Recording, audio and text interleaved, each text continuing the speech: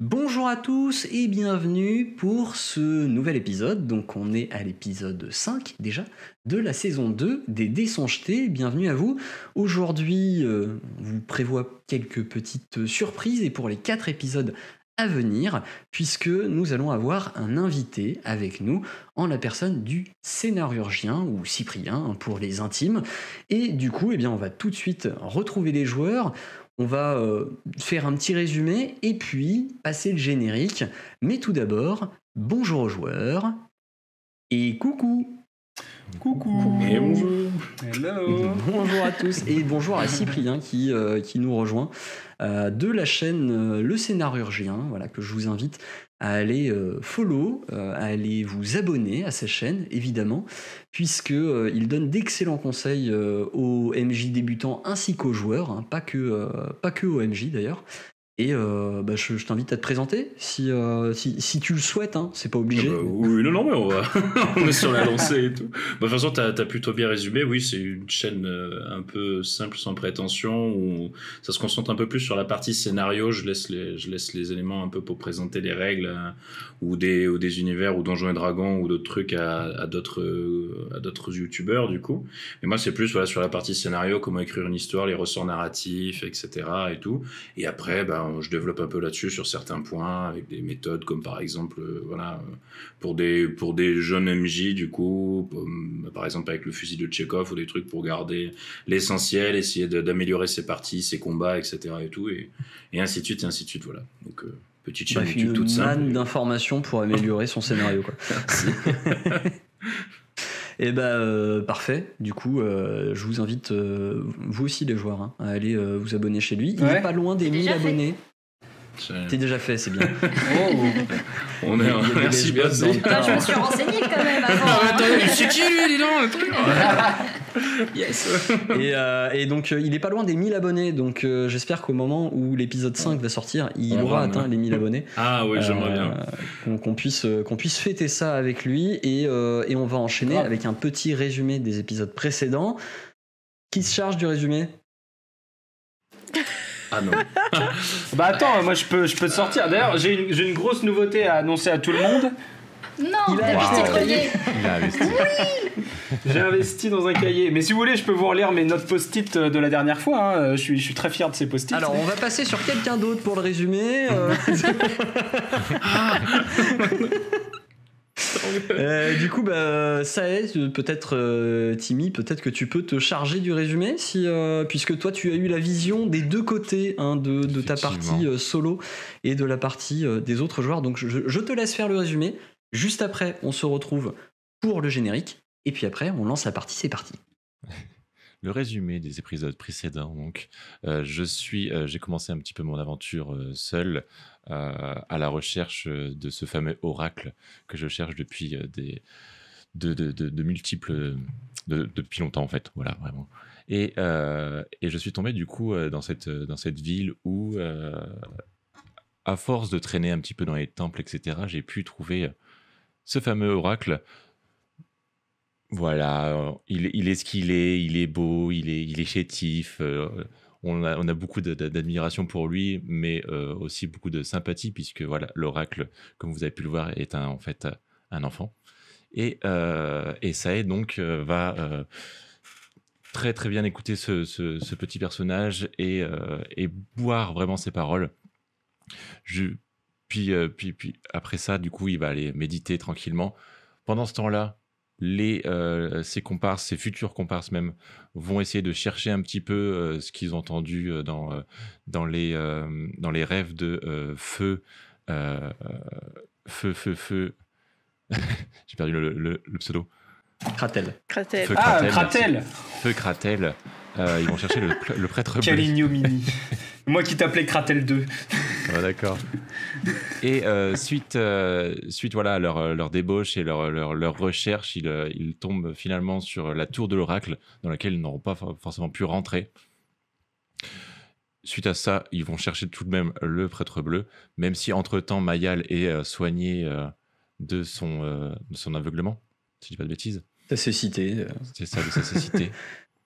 Et, euh, et suite à ça, du coup, il, il rencontre Sae dans une petite ruelle très sombre où il se passe des choses pas forcément. Euh, voilà, on va pas les mettre sur YouTube, hein, mais, euh, mais suite à ça, Si, si, on va On les a mettre sur discuté. YouTube.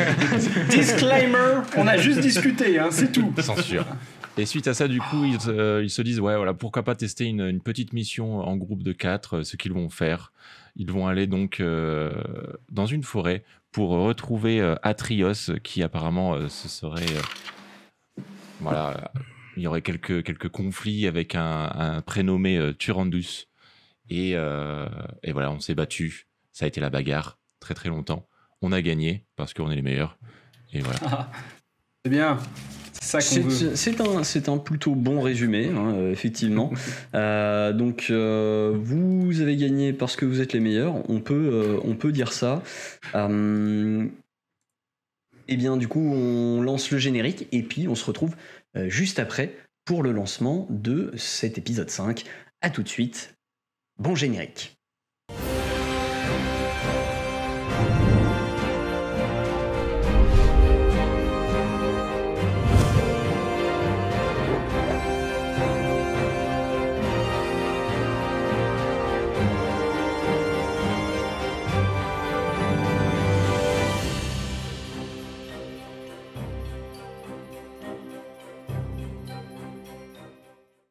Voici donc euh, après votre, euh, votre dernier euh, petit, petite aventure, votre dernière petite aventure, avec notamment eh bien, ces, ces renégats qui, qui, avaient, euh, qui, qui avaient fait une, une mutinerie auprès donc, de Turandius. Vous avez tué les chefs de cette mutinerie, rendant un peu les rênes de, de cette petite troupe de, de- d'expatriés Atrios, qui vous a remercié avant de repartir en direction donc, de la forêt, vers le cœur de la forêt, et de votre côté, de reprendre la route du sud.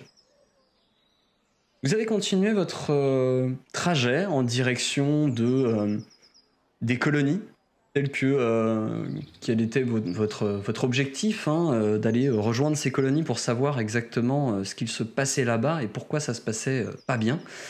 À mesure que vous approchez, vous voyez au loin se dessiner quelques, maisons.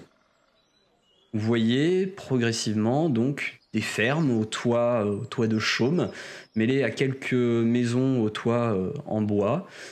Il n'y en a vraiment pas beaucoup, peut-être la taille d'un petit village, presque un hameau. Et au fur et à mesure que vous vous approchez, vous vous rendez compte qu'il s'agit d'un village qui est vraiment particulièrement récent. Les habitations sont toutes neuves, donc en bois ou en chaume, comme je le disais, qui évoquent une construction qui ne remonte pas à plus d'un ou deux ans. La plupart semblent border des potagers ou des champs. Cependant, vous ressentez à mesure que vous marchez au milieu de ces premières maisons qu'il y a quelque chose qui cloche. Le village semble vide. Rien euh, ne, semble, euh, ne semble abandonné, hein. bien au contraire, on voit euh, ça et là des outils qui sont soigneusement posés en attendant que leurs propriétaires ne reviennent les chercher, une brouette en partie emplie de, de récoltes et des terres en train d'être labourées mais laissées là en, en plein cours de travail. Rapidement, tandis que vous avancez dans, dans ce village, vous percevez une clameur un peu plus loin vers ce qui semble être euh, la place centrale du village. Qu'est-ce que vous faites? Vous êtes euh, donc au, au niveau de, euh, de ces premières maisons et vous avez capté cette sorte de clameur un, peu plus loin. Ouais. C'est bizarre quand même. Ouais, c'est bizarre, hein. Il- Qu'est-ce que vous avez vu là? Il y a tous les outils abandonnés. euh, Ça a pas l'air. euh, Ça a l'air vivant mais mort à la fois. On va rester aux aguets. Ils ouais, sont où les champs? Est-ce qu'on peut voir à travers la fenêtre? Dans Ouais, les maisons, euh, tu, tu te colles à la fenêtre, tu essayes de regarder et tu vois absolument rien. Euh, Il y a même, dans cette maison, là, tu es en train de regarder dans ce qui semble être une sorte de cuisine et tu vois qu'il y, a un- qu'il y a un plat qui est, qui est sur, euh, enfin une sorte de marmite qui est, qui est sur le, le feu de cheminée et euh, qui, qui semble être en train de, de, de bouilloter un peu euh, en cours de préparation. D'accord, ouais. et- Mais en fait, peut-être qu'on s'alarme pour rien. Il y a peut-être juste une fête au village et ils sont tous ça. au centre. Ou euh, ils sont tous allés chercher de l'eau En même temps. en même temps, parce qu'ils avaient peur. C'est possible. de se laver les mains avant de passer à table. C'est ça. Respecter les gestes barrières. Ouais. Mmh. Ils sont Ah. malins. On Mais avance coup, déjà un petit peu euh, au centre, non? Vous voulez entrer dans le village par la- l'allée principale? Ça vous semble judicieux? Bon, ah, Enfin, pff, à moins qu'ils soient tous cachés derrière leur maison en nous attendant. euh, Parce que du coup, euh, Altrios, euh, il nous avait dit qu'il nous rejoignait ici de toute façon. C'était pas Ah non, ici, je Atrios, crois. il vous rejoint pas. Il vous a dit que si vous aviez besoin de lui euh, dans la forêt, euh, vous pouviez Ah. euh, entrer en communication avec eux. ouais, c'est ça. non, Lui, il est resté avec plus. ses. Il est resté avec ses gens, lui on l'a abandonné, enfin on l'a abandonné, on, a réglé sa situation et, et merci bonsoir quoi. Moi je veux bien aller jeter un coup d'œil, on n'est pas obligé de tous y aller en même temps. Moi ça me dérange pas parce que je me dis s'il y a une clameur c'est qu'il doit se passer un truc au centre de village et quand on va arriver on va voir que des gens de dos du coup, donc ils nous Oui, verront pas raison. arriver. Surprise Tu devrais aller devant Eldebaf. Et nous, on restera discrets. Franchement ça me dérange pas. Je vais pas être discret mais s'ils sont tous en train de gueuler de toute façon euh, je peux bien renverser un seau, euh, je pense pas qu'ils vont me repérer. Ouais, nous, on a Euh, qu'à passer je- un peu derrière les, les maisons. Je, là, je- et puis- je m'avance, euh, je m'avance au moins jusqu'au coin de la maison et j'essaie de voir si je, je vois quelque chose. Bon, remarque il y a une autre baraque qui va Ok. me gêner là. Tu t'avances euh, un petit peu plus, tu, passes même un peu euh, le mur de cette maison pour, euh, observer ce, qu'il se passe sur, la place centrale du village, place centrale où, tu vois qu'il y a notamment une sorte d'estrade. À mesure que tu t'approches, tu vois se dessiner des chapeaux de paille des faux, des fourches qui sont dressées vers le ciel et grosso modo une, une foule de personnes habillées en habits de, de- de paysans hein, euh, qui sont de dos, effectivement, tournées euh, sur, cette, euh, sur cette place centrale. Et derrière, donc, cette, cette silhouette globale de, de, de faux, de fourches, de chapeaux de paille, etc. Tu vois donc cette sorte d'estrade sur laquelle se tient un homme en armure aux couleurs du royaume. Il a l'œil sévère, engoncé dans son chamarrage couleur euh, carmin. Celui qui semble être un capitaine tient dans sa main gauche les cheveux d'une femme accroupie et attachée à un poteau. Comme pour montrer son visage à la, à la foule, inquiète, les vêtements de la jeune femme ne sont plus que loques, et son regard, perdu et sanglotant, regarde les paysans massés devant elle. Non, en à ce pleine moment-là, chasse aux le- sorcières. Le capitaine euh, se- s'exclame à la foule devant lui et il dit Voilà la cause de toute cette catastrophe. Celle qui fraie avec les forces obscures et qui vous fait croire qu'elle vous soigne, tandis qu'elle sacrifie à quelques dieux impies ou démons le fruit de votre labeur. Devant les premiers nés d'Orun et cette assemblée, tu seras jugé. C'est là pour toi le seul moyen de voir tes crimes être expiés. À vous, et par le feu de Naméros, tu seras pardonné. Voilà ce que tu entends. Le feu de Naméros. Naméros, je m'en souviens plus de celui-là. Ok. Est-ce qu'elle a qu'est-ce l'air que euh, tu rousse fais comme une sorcière Le feu de Naméros. Ok. euh, ils sont Pas nombreux les spécialement villageois rousse, non? Les Ah, villageois, euh, il y a une cinquantaine de personnes à peu près. Ok, fait du monde. Euh, Ils des sont en gens train de regarder armes ça d'un air, euh, d'un air un peu, euh, un peu inquiet hein, au global. Il y a des, des- des gens en armes, je devrais plutôt le dire. Parmi les, les- villageois, Autres que ceux qui ont des chapeaux de paille et des fourches. Effectivement, tu vois euh, autour de, de l'estrade des, euh, des, des gardes du royaume hein, qui, euh, qui sont dans une tenue assez particulière parce qu'ils sont entièrement en noir. Là où d'habitude le- les, les hommes du royaume sont plutôt euh, de différentes couleurs en fonction de la ville d'où ils viennent. Vous en avez vu des verts par exemple à Ignazis pour, pour donner un, un exemple. Des couleurs plutôt, plutôt bleues au niveau de, de la ville de Terrascon. Là, eux, ils sont habillés en noir et ça ne vous évoque aucune ville en particulier. Ok, on peut peut-être en déduire que c'est la milice des colonies ou un truc du genre. On verra.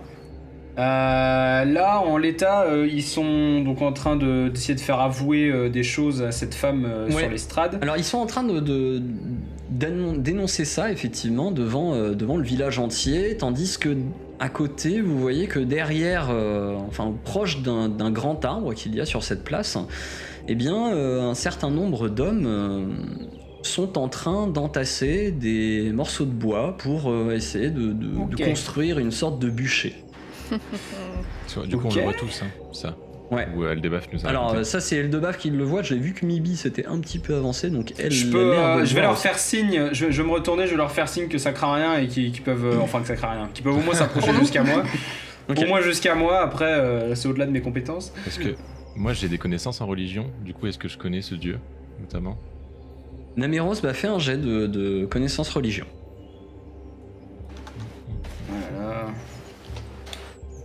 Alors 10 en connaissance de la religion pour Sae.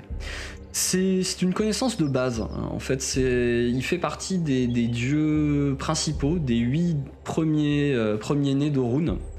Euh, Naméros, c'est le dieu de la magie. Et il est plus communément associé au feu. Et notamment au feu purificateur. Eh bah, évidemment. Ce serait trop facile. c'est pas le feu qui guérit les plaies. Non, c'est tu vois, c'est plutôt l'eau qui Évidemment. guérit les, plaies Bah ouais. avec mes alliés que vous aviez, enfin, déjà entendu parler euh, via ses prêtresses notamment. Bah je, bah, je me retourne vers mes compagnons. euh, maintenant, ils sont tous là, de toute façon, à peu de choses Alors, près. Qu'est- du coup, que. euh, tu- il y a quelques questions, des gens qui se posent des questions dans la foule que vous entendez un petit peu devant vous. Et il Ouais. y a notamment une personne qui dit mais euh, vous vous parlez d'un jugement, euh, comment est-ce que vous allez la juger? Et euh, vous voyez l'homme qui, euh, qui, est, qui est sur l'estrade qui se tourne.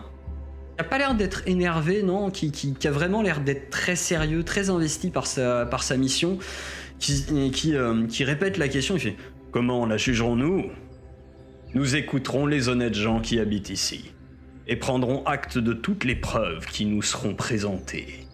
Alors, nous porterons un jugement à la connaissance des dieux, et selon votre conviction, à vous, habitants de, ce, de cette colonie. Ah, Ainsi- de. Elle sera, par la suite, exécutée dans la foulée si sa, ta- si sa traîtrise est avérée. Bah oui, parce qu'ils sont déjà en train de monter le bûcher, mais le jugement est pas rendu. hein, parce que. Oui, bah ça qu'il faut- du temps à monter un bûcher, alors... oui, mais s'ils en ont pas besoin, ils sont peut-être pas obligés de le faire. Tu sais, il y a un peu de stress là pour la meuf, j'imagine quand même. Ouais, c'est Ah, bah pareil, là, ils elle, disent elle que c'est Elle est en train selon. de pleurer, hein, elle est en sanglots. hein, euh. Ah bah, euh, elle, elle peut se chier dessus, hein, très clairement. euh, je ne lui en voudrais pas. Parce qu'ils disent que c'est selon le jugement du peuple et tout, mais ça veut dire que s'ils sont là, c'est que quelqu'un l'a dénoncé. Donc est-ce qu'il n'y a pas des Ouais, gens un peu qu'elle dans la foule déjà, euh, ouais. Oui, Bah, comment ça se fait qu'ils l'ont euh, arrêté faites- Faites-moi un jet de, de psychologie. Ah, ça commence. On aime. Et avoir euh, plusieurs camps, ça se trouve, de, dans les villageois. Alors, nous avons un 20 pour Mibi, un 15 pour Mayal, euh, avec euh, plus 2 d'ailleurs, puisque ce sont des humains, donc ça fait 17 pour Mayal, un 11 pour Eldebaf, et Pas très on attend le jet de Sae, et 14 pour Sae. Ok. Eldebaf, toi, pour toi, c'est un groupe de personnes qui s'est rassemblé, et vraisemblablement, la plupart des gens qui sont là sont, plutôt véhéments. Euh, tu, tu vois pas trop de différence entre les gens qui sont là, tandis que vous autres, donc Mibi, Mayal et Sae, vous voyez que la foule est assez partagée en soi. Il y a, l'air d'y avoir des gens qui, euh, qui sont vraiment en train de dire euh, C'est une sorcière euh, C'est à cause d'elle que, rien ne va Il faut la brûler et, tout ira mieux !» Et tandis que d'autres, au contraire, sont plutôt en train de dire bah, Elle avait pourtant l'air gentille et innocente, enfin, elle a soigné mon fils, enfin, je vois pas pourquoi. Et puis elle fait que des potions en soi. Enfin voilà, Le c'est- assez, euh, assez divergent. Oui, mais le monocle, ça va pas dire si elle est gentille Bah, ou pas. ouais, mais si elle est magicienne déjà, parce que si ça se trouve, ils sont en train d'essayer de brûler une sorcière qui est juste euh, une alchimiste. Je me souviens plus, par exemple, sur mes mains, on voyait des traces de, ma- de magie. Hmm, ça, ça peut être résiduel, mais c'est vraiment de toutes petites traces. Il Ouais. faut vraiment être proche de tes mains pour pouvoir les voir. Donc c'est pas euh, à cette distance-là, vous pas, pourrez le pas, monocle. vous pourrez pas voir euh, de, de traces de magie si elle est une lanceuse de sorts vraiment. Ok. Mais- Moi, je pense qu'il faut qu'on s'approche, mais je vais mettre ma capuche sur la tête parce qu'ils ont l'air assez chauds, Ouais. les gens là. Pareil, j'ai ma capuche. Ok. Et, euh, et on va s'approcher un peu en mode. euh, Ouh, qu'est-ce qui se passe? Bah, Euh, eh sauf bien, si vous vous préférez qu'on regarde un- euh, la meuf se faire brûler euh, au loin. Ah non, non, non. Non, non, non, bah, si je peux participer, euh, si je peux participer au vote et dire que non, je suis pas pour, euh, voilà. je, je dis pas non. Toujours quelques voix en plus. Euh, vous, vous vous approchez un petit peu en essayant d'être le plus discret possible. Je vous invite à me faire un jet de discrétion d'ailleurs. Super. On aime ces jets. On aime les jets de discrétion. Bam, allez.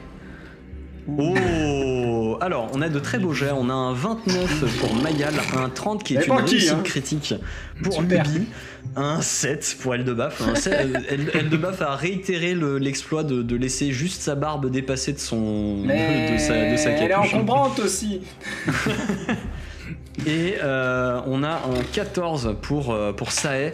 Globalement, vous êtes assez, euh, assez discret, sauf Eldebaf qui, qui, qui se fraye un chemin au milieu de la foule en, jouant des épaules et en bousculant un peu tout le monde. Ah, Euh, Poussez-vous de mon chemin.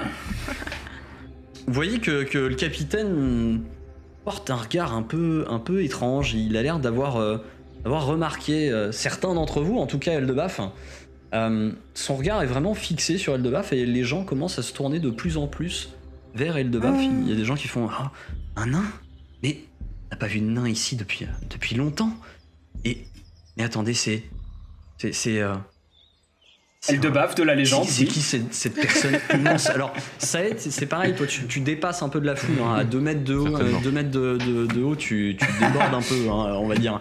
Donc Ouais, t'as beau mais- te, te voûter un petit peu, on te voit un petit peu, donc les gens aussi te regardent légèrement parce que tu, tu dénotes euh, par rapport à la taille des gens euh, globalement. Euh, et du coup, vous avancez là-dedans et vous avez l'homme qui... a l'air d'être d'être étonné, qui, qui, qui lève les yeux.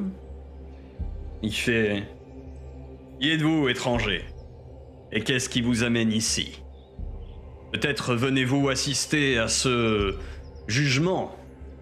Peut-être venez-vous apporter des preuves complémentaires de la sorcellerie de cette femme. Nous sommes, euh, nous sommes mandatés par euh, une grande prêtresse du temple d'Undia pour euh, euh, venir euh, contrôler les, les, les, les colonies et, et notamment euh, y, y combattre les brigands qui pourraient, euh, qui pourraient y venir euh, semer le trouble. Arundia Oui, c'est- l'aide officielle des dieux Vous venez pour enquêter prêtresse. Très bien. Très bien. Nous Voilà. sommes euh, le corps d'armée d'investigation du royaume. Et nous avons été dépêchés ici par le roi pour euh, enquêter sur ce qu'il se passait dans les, dans les colonies. Si vous Ah. pensez pouvoir euh, faire mieux que nous et, et trouver des preuves peut-être euh, accablantes pour cette femme ou le contraire, des preuves qui, qui montreraient qu'elle n'est pas coupable de ceci, eh bien faites. Si c'est là ce que vous souhaitez faire, ou peut-être que vous vous désintéressez de ça et que vous voulez juste euh, euh, voir les champs et la désolation qu'elle a laissée par ses actes. Et, et- et quelles, sont, euh, quelles sont les charges euh, contre cette, euh, contre cette femme que vous jugez alors? Je, je comprends qu'il y a des problèmes de, de- de plantation. Sorcellerie Les champs ont été ravagés, les récoltes détruites, toutes pourries, les animaux relâchés ou éventrés sauvagement. N'était pas des... Oh non Ce n'était pas par des animaux, c'était par une main, essentiellement humaine. Et nous avons trouvé des choses étranges chez elle. Des sortes d'objets que seules les sorcières possèdent. Et Ah. nous la soupçonnons très fortement d'avoir fomenté tout cela. En attendant, nous attendons qu'elle avoue ses péchés. Pourquoi est-ce qu'elle aurait fait ça propres, euh, vous voulez mener vos propres investigations? Très bien, fort bien. Mais je ne vous laisserai pas seul. Deux de mes hommes vous accompagneront. Recrue Dervish Recrue Romuald Et au moment où, euh, où il appelle comme ça deux recrues, effectivement, Ouais. à la suite de ces deux noms, vous voyez deux personnes bouger. L'une toute petite et engoncée dans une cotte de maille euh, bien trop grande pour elle, euh, était assise contre l'immense arbre justement qu'il y a sur la place de, la, de, de- de ce village, et qui était en train d'accorder difficilement une espèce de vieille mandoline. Il se lève, euh, l'air un petit peu las. C'est un gnome d'âge moyen. Ah non, un gnome, c'est bon. Il a l'air bien petit celui-là Ok, c'est juste un gnome mélomane. Très bien. Beaucoup trop rapidement. Euh, c'est un gnome d'âge moyen. euh, il, a, il a le teint euh, assez, assez pâle. il a les cheveux un peu rêches et grisonnants. Et il a l'air de traîner les pieds. Et il approche du capitaine. Voilà. Capitaine, derviche au rapport. Et, euh, et à côté de ça, vous voyez une autre personne qui semble sortir du groupe de soldats qui, qui entassait du bois. Et Cyprien, je te laisse présenter ton personnage et me dire à la suite ce que tu fais. Ah, J'espère que c'est pas un gobelin. Non, ça va. ça va être compliqué. Alors c'est le recrue Remual, du coup donc vous voyez ben, un, un grand dadais, c'est même d'ailleurs un peu le, le surnom peut-être que l'on pourra entendre souffler de la part de quelques soldats, ou gros dadais aussi ça dépend. Alors lui il a la mine un petit peu euh, plus déconfite on va dire, il a l'air assez timide euh, on va dire, euh, pas, euh, il évite visiblement de regarder euh, le capitaine dans les yeux. Parce que visiblement, elle a l'air un peu terrorisée par, euh, cette personne. Du coup, à chaque fois, elle a le regard un peu fuyant, un peu, un peu pas très à l'aise, on va dire, dans cette situation. Et du coup, bah, il, on va dire là, il, il- il obéit un peu euh, comme, euh, comme un bon toutou euh, quand on, quand on l'a appelé. Et du moins, quand c'est devant le capitaine, il essaie au plus possible de laisser parler euh, son, son, la, recrue gnome qui est à ses côtés. Toujours en évitant de regarder euh, le capitaine dans le, dans le blanc des yeux, parce que bon, on sent qu'il est pas très à l'aise dans sa présence. Capitaine qui doit et avoir un regard coup- assez noir euh, sur lui d'ailleurs. Ouais, ouais, c'est le, le capitaine qui a un regard effectivement assez noir et qui. euh, tu tu t'approches un peu du capitaine, tu, au moment où t'arrives et tu, tu baisses le regard comme ça, malgré ta, ta haute taille, hein, parce que euh, Romuald est une, est une personne qui, qui a un petit peu de mal à passer inaperçu, parce qu'il fait quand même dans les 2 mètres de haut aussi, Voilà. euh, avec une belle carrure, mais, mais il, est, il est assez. assez empoté et assez euh, Ouais. Assez timide. Et donc du coup quand il s'approche comme ça du capitaine il fait euh, t'as le capitaine qui se tourne vers toi il fait recrue Romuald. C'est comme ça qu'on se présente devant son, son supérieur. Euh, non, monsieur Devette, euh, pardon. Euh, oui, recrue Romuald au rapport. bien. Bon. Eh bien vous allez accompagner ces gens. Et vous prendrez note de tout ce qu'ils font. Et vous m'en rendrez rapport Vous avez jusqu'à demain soir pour apporter preuve soit de la culpabilité de cette femme, soit de son innocence. Bon, bah j'imagine qu'on n'a pas le choix. Moi, il y a un truc que je comprends pas. Pourquoi c'est pas bien d'être une sorcière? Ils sont un peu, ils sont un peu touchy sur le sujet. On va pas trop l'évoquer. J'ai cru comprendre que ça passait que moyen dans ce coin-là. Alors, euh, du coup, au moment où tu l'as dit, euh, c'est- quoi le problème et tout, t'as as quand même euh, quelques villageois qui se sont tournés vers toi, l'œil un peu, un, peu étonné et même choqué, limite, et qui, qui se tournent vers toi et qui disent Mais. Sorcière Une sorcière frais avec des, forces maléfiques, avec quelques démons et, peut-être même les, les dieux interdits Des fois avec des colliers. Oui Retiens le collier qui crame pas Avec tout. des colliers aussi Ton, col- ton collier qui parle. Il y a des colliers qui sont capables de faire ça, voilà. Il- t'as- tu viens de lancer un débat. Euh, Et là, t'entends Allez. Au bûcher, au Nous, bûcher on va par là. on se Qu'est-ce que vous casse. faites maintenant Donc vous avez euh, la recrue d'Herviche qui traîne des pieds, qui, qui vient, puis qui, qui se tourne, il fait Et Romuald, ramène-toi. J'arrive, j'arrive. Est-ce qu'on pourrait voir déjà la maison de cette bonne femme j'ai demandé, ouais. Les recrues, vous savez peut-être Euh, Ouais, je sais plus, moi. J'étais pas là quand ils sont allés voir la maison. T'en rappelles, gros dadais, toi? Euh, bah, euh, elle doit être dans le village, du coup. Puis, euh, Ouais, Captain Captain On peut en avoir d'autres. Ah, il, est, il, est, il est limite comme, il, il est On peut limite les comme au bar. euh. Dervish, il est presque comme au bar, il est en train d'ailer le capitaine euh, comme s'il il allait lui demander une bière. Eh capitaine, elle est où la maison de la, de la sorcière là? Ah. Dervish, c'est pas comme ça qu'on parle à son supérieur. On me ferait un rapport. Bon, euh, en direction de la, de la forêt, c'est la dernière maison. Forcément. C'est la petite là C'est celle, c'est celle qui est un peu expatriée, c'est un peu Allez. euh, à côté. Bon, bah, je, On je pense voir, que hein. ouais, c'est celle qui est là-bas. Là. Allez, euh, suivez-moi, je vais vous montrer. Allez, gros dadais, bouge-toi, euh, on n'a pas que ça à faire.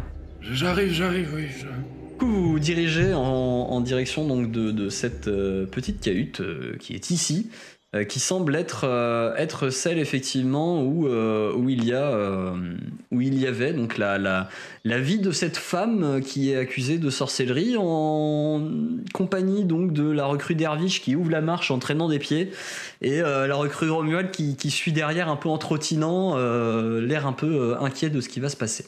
Il y va littéralement à reculons. Oui, pardon. c'est le cas de le dire. Il y va en moonwalk. Alors, vous vous approchez de cette maison qui. Euh, Juste une qui question, c'est laissée- moi qui fais mon caracal ou c'est toi Et du coup, est-ce qu'il rentre ou... Euh, normalement, tu peux, tu peux l'utiliser. euh, Non, c'était juste pour savoir si c'était moi qui le, qui le prenais ou pas. Alors Ah, euh, là, potentiellement, dans ce village, il a peut-être préféré rester un petit peu à l'écart. Il est pas très loin. hein, Tu le vois généralement quand tu tournes euh, au-delà des, des, des- au-delà des, euh, des champs, tu, tu vois un peu sa silhouette. Mais dès qu'il y a un attroupement, on va dire, d'humains notamment, il a plutôt tendance à rester un peu à distance. Un peu à l'écart du village, plus proche de, de la forêt, vous, vous voyez donc cette petite cahute ronde qui semble servir de maison à la jeune femme qui semble avoir été euh, laissée également tout récemment. Lorsque vous entrez, vous voyez un feu qui crépite encore dans la cheminée, une marmite contenant une, mystérieuse mixture qui est en train de, de bouilloter. Et ça et là, dans cette maison, vous voyez des pots emplis d'ingrédients plutôt étranges, tels que euh, des pattes d'oiseaux, des chenilles desséchées, des feuilles diverses qui sont éparpillées sur euh, euh, de nombreuses étagères. On y trouve aussi euh, également des d'épais livres, des gris-gris d'hiver, un pilon et un mortier, et dans un petit coin de pièce, un lit très simple et soigneusement bordé, mais qui, est engoncé entre une étagère et, une table sur laquelle il semble faire des préparations. Et donc c'est assez petit. Ok, avant de toucher à aucun des bouquins, je propose exactement ce que fait Mibi, on monocle tout ça. Parce que les bouquins, des fois, il y a des trucs dedans. Ouais, hein. Je, je vais remettre dans, dans, dans- Voilà. dans la situation On parce que jamais. du coup, euh, du coup, toi, euh, Romuald, tu, tu les vois qui sortent un monocle et qui posent le monocle sur le, le bord de l'oreille comme ça, en train de regarder partout. Euh, ce monocle, euh, il, il te l'explique, c'est c'est un monocle qui permet de voir les auras magiques. Voilà. Rommel est euh, impressionné, il, a des yeux. Wow. C'est c'est fort ça quand même. Ça me rappelle une soirée. Tandis que, voyais des couleurs aussi.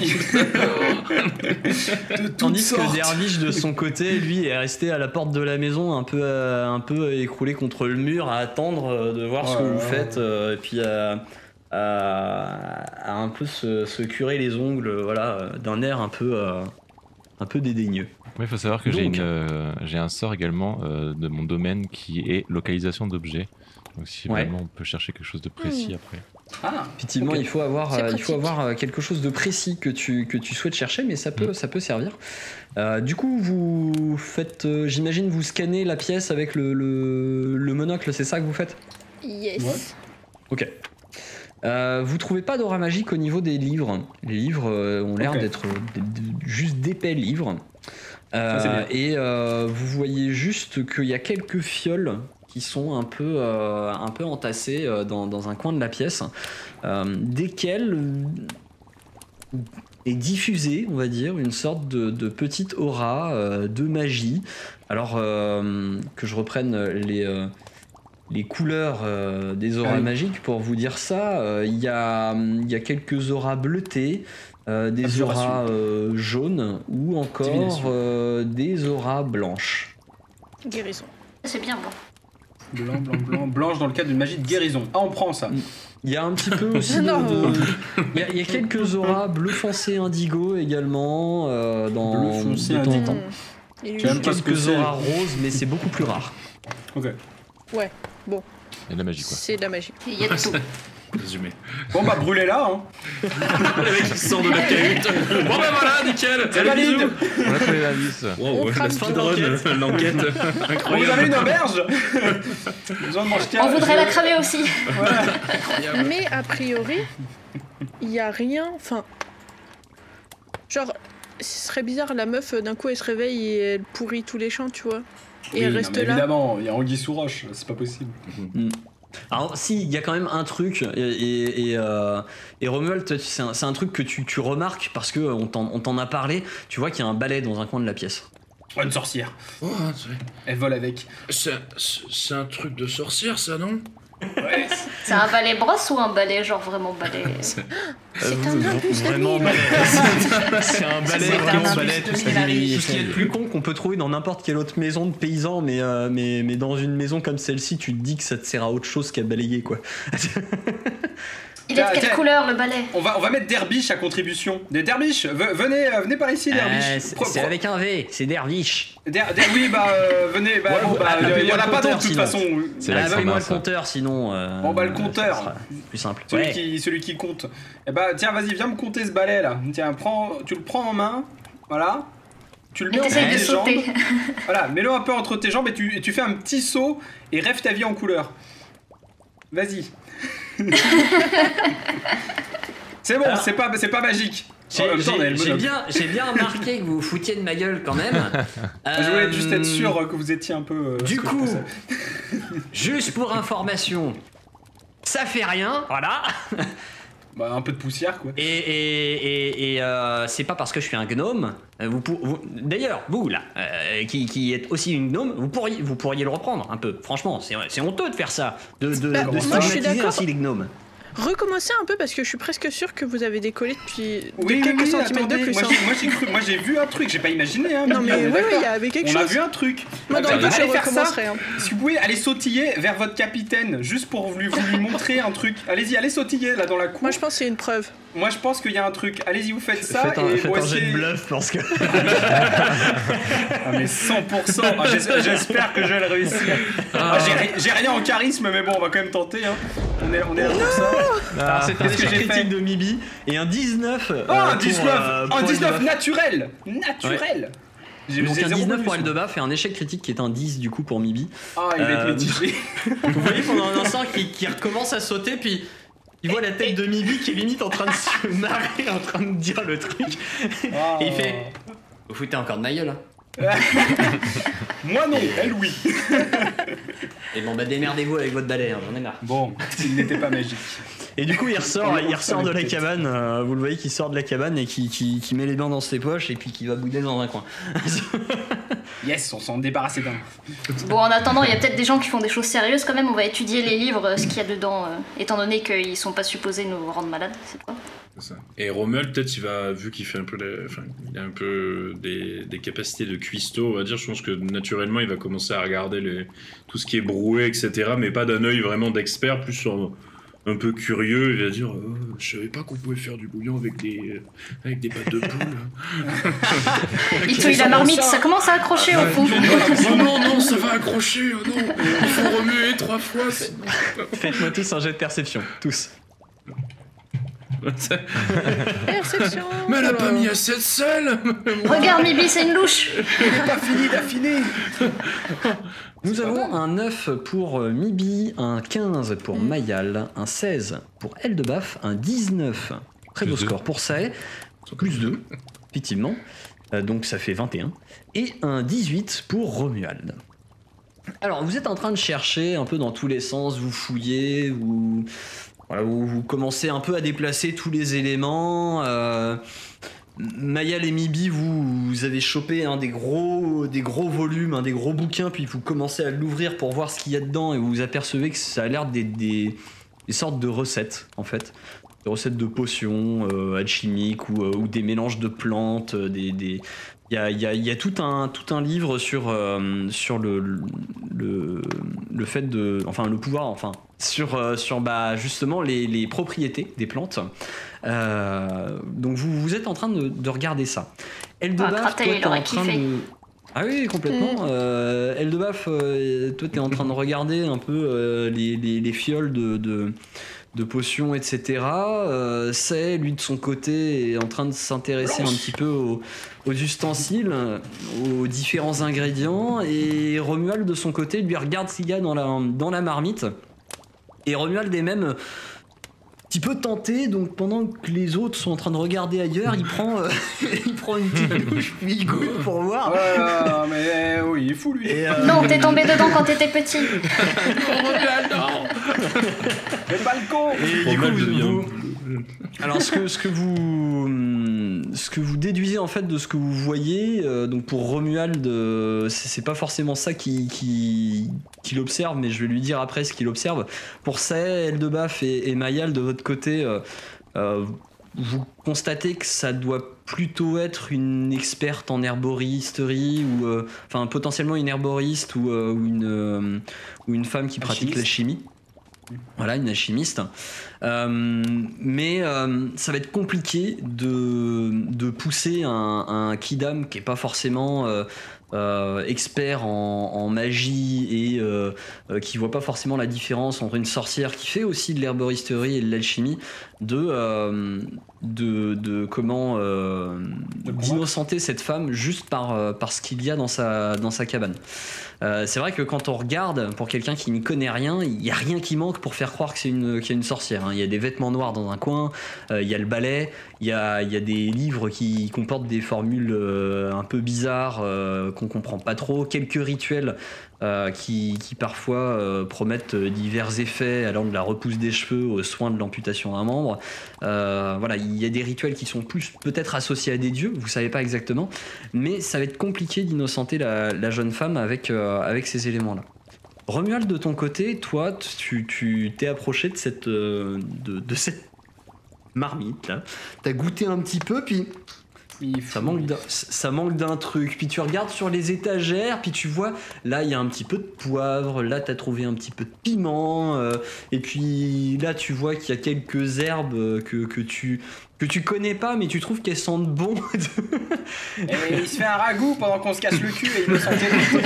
Et donc du coup, pendant, que vous êtes en train de tout explorer, vous vous retournez, puis vous voyez Romuald, donc le, le grand gaillard en armure, qui est en train de verser des trucs dans la casserole, puis en train de touiller, puis qui regoute. Tu vas nous faire péter la Ah, chaumière. c'est bien mieux comme ça.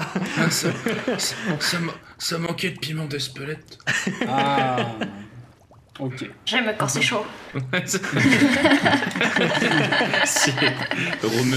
Romuald Lignac. J'aime quand ça claque. eh bah c'est super. Mais euh, qu'est-ce que tu nous fais là, Romuald? Bah, euh, ah, désolé, c'est une déformation professionnelle, c'est juste que. Bah, ça manquait de poivre et de sel. Elle sait pas très bien cuisiner, mais, Mais est-ce pas que grave. tu sais quoi manque de poivre et de sel Qu'est-ce Ah. que, qu'est- qu'est-ce que la marmite Ah, euh. Alors, qu'est-ce que.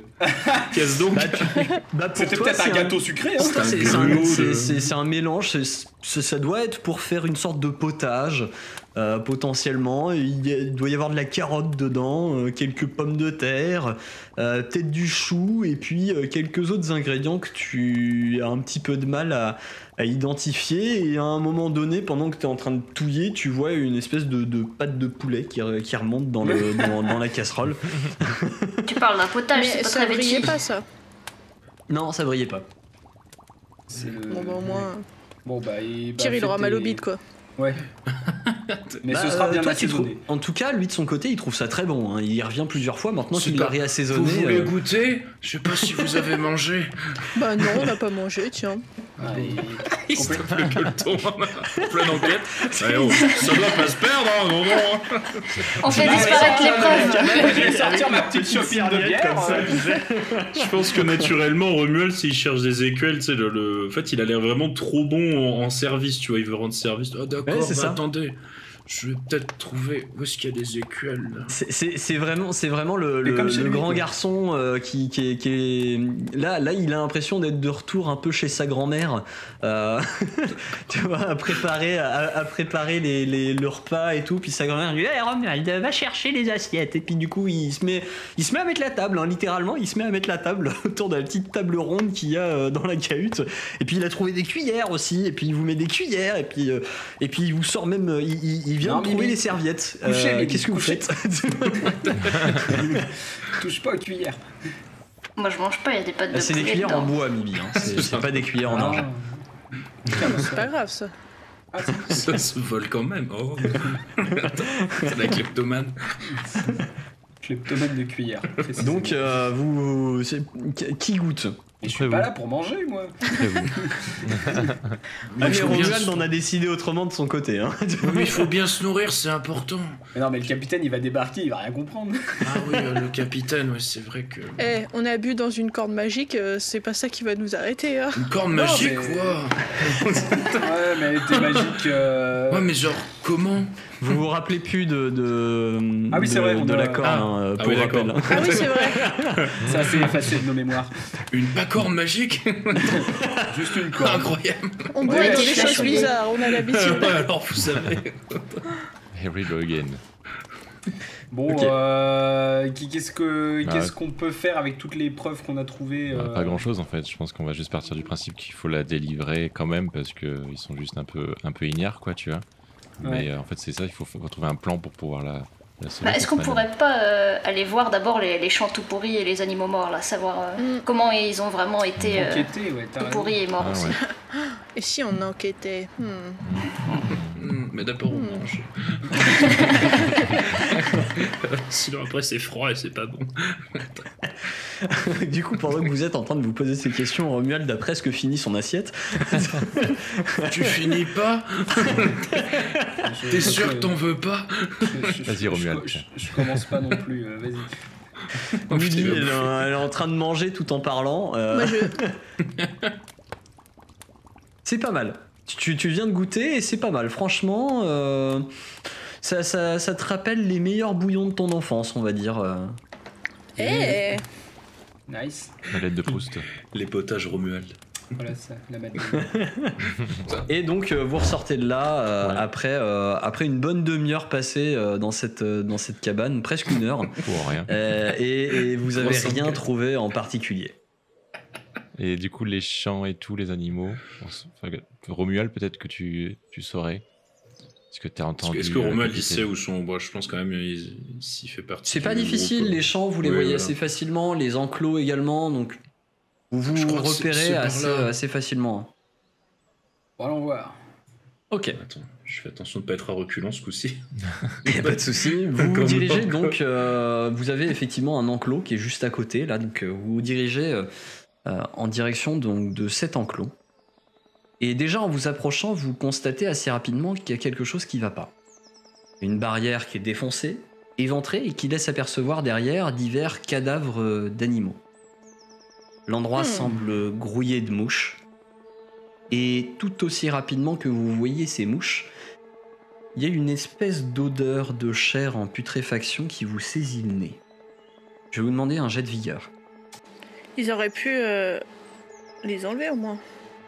Ça pue toujours moins que mes pieds. C'est vrai. Donc, nous avons un 18 pour Eldebaf, c'est une réussite. Nous avons aussi un 18 pour Mibi, qui est également une réussite, un 21 pour Mayal, un 16 pour euh, Sae et un 21 pour Romuald. Donc vous avez tous réprimé cette, euh, cette espèce de, de, de, de nausée qui, qui vous a fait un peu revenir le bouillon que vous venez de manger euh, dans le fond de la, de la gorge. Euh, sais vous n'avez pas vomi. Vous n'avez pas vomi. Première réussite. Mais vraiment, groupe. ce- vous, Yes. assez rapidement, vous, vous portez un, un tissu à votre nez pour vous cacher le nez et pour euh, éviter de respirer cette odeur qui Ah. n'est pas agréable. Je crois que Romuald, il détourne le regard. Je pense qu'il est pas trop. euh, sent pas trop qu'il. Oh, c'est c'est pas, pas très beau ça. Non, je vais vous C'est pas assez demander. cuit. Il regarde ailleurs Euh, un peu, genre. Je vais vous demander plusieurs choses. Euh, vous, est-ce que vous rentrez dans le dans l'enclos pour euh, pour enquêter? Est-ce qu'on met pas Moi un aussi. coup de monocle? Ok. Le monocle. D'accord. On va le rentabiliser. monocle. Je vous, je vous le révèle dès maintenant. Au monocle, vous, n- vous n'avez rien. Ok. La scène Maintenant, est tout aussi dégueulasse au monocle que sans. Il n'y a pas des petites oui. paillettes qui se rajoutent histoire vais de vous rendre ça un petit peu moins. hein. euh, des dans, un, comme ça. dans un premier temps, je vais vous demander un jet de premier secours pour euh, donc si vous analysez les animaux pour euh, savoir euh, comment est-ce qu'ils sont morts. Ils sont morts de cause Ils sont morts de mort. Ils sont morts. Incroyable. Je pense pas que. Est-ce que. Non, Romuald, qui regarde pas forcément. euh, Non, Romuald, euh, il est plutôt en train d'éviter oh. de, de vomir. Oh, c'est pas. Oh, non. Même s'il a bien tenu, hein, mais euh, Ouais, ouais, mais vraiment, bon. c'est- c'est c'est pas son truc, ouais. Ouais, ouais, pas- Alors, vous, vous voyez qu'effectivement, les, les- les animaux devant vous semblent être exsangues. Le, le- Ils ont perdu beaucoup, beaucoup de sang. Et d'ailleurs, il y a de grandes flaques de sang au sol. Vous avez un petit peu de mal à, trouver euh, quelle est la, cause de la mort de ces animaux, puisque euh, le, poil est, est maculé de sang, il est complètement imbibé de sang. Et du coup, euh, vous avez juste l'impression qu'il y a l'air d'y avoir des, des trous assez béants. Et des sortes de lacérations assez nettes et tranchantes. Comme une bête sauvage. Non, peu. non, ça ressemble plutôt à un poignard. Oui, justement, ils avaient dit que c'était pas des animaux qui avaient fait ça. Pas des coups de griffe. Oh, mais- Je vous demandais également un jet de perception. Ou alors Pff, Non, mais ça, je suis Oh là là. en perception. Oh, bah, t'inquiète, hein, moi, moi j'ai moi, j'ai perçu les pompes. C'est terrible, la vie, ça. Putain, la vache Je me tape vraiment la malédiction de Kratel, c'est fou. Alors, pour la perception, Mibi a fait un 6, Eldebaf a fait un échec critique avec un 5, Mayal a fait un 26 et Sae a fait un 18. Seuls Sae et Mibi Maya. détectent qu'au sol, euh, et Mayal, pardon, détectent qu'au sol, il y a des traces de petites bottes, mais aussi d'étranges empreintes à 5 doigts avec un des doigts, donc euh, l'équivalent euh, euh, peut-être du, du majeur, hein, on va dire, qui, qui est plus allongé, et d'autres empreintes avec quatre doigts tournés vers l'intérieur, un peu comme ça. Et vous pouvez effectuer un, un jet de connaissance nature si vous voulez identifier ce que c'est. Mayal, c'est ton moment. Ok. Mayal, tu, avec ton 24 en connaissance nature, tu reconnais que ce sont là des traces de crapauds. Mais d'une taille. Ouais, mais d'une taille monumentale. Une taille véritablement gigantesque. Euh, si grande que même toi, enfin toi-même, tu pourrais t'asseoir dans, le- dans ces traces. Ah ouais, d'accord. Ouais, mais pour autant, euh, ces traces, elles ne sont pas profondes. Et comme si le- la créature qui était dessus euh, était relativement légère. Et elles sont Un très distantes. Elles sont très distantes les unes des autres.